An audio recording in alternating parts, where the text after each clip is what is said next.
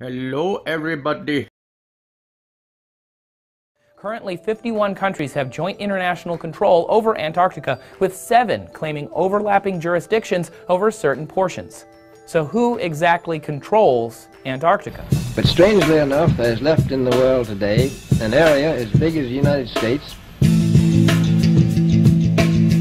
and that's beyond the pole on the other side of the South Pole from Middle America.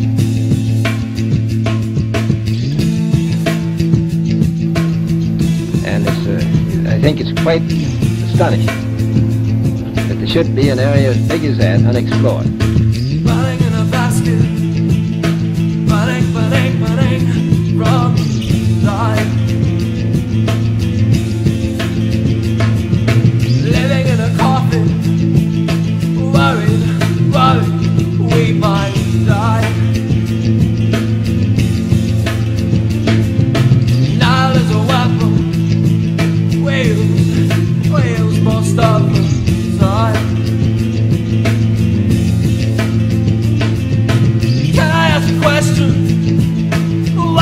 原来是这。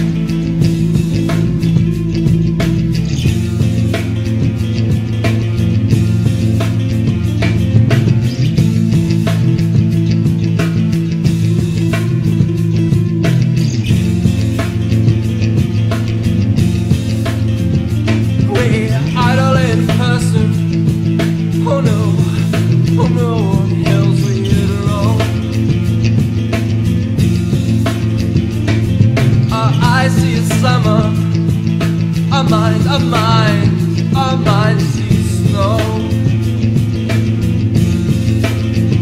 Living life in circles.